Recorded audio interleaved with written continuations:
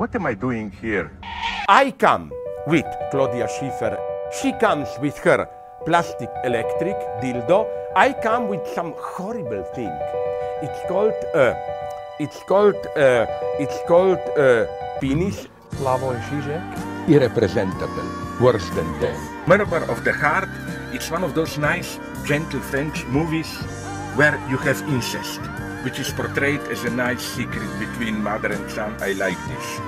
Did I deserve to exist? No, and so on. It's absolutely not this spiritual self-examination, which is why I hate life.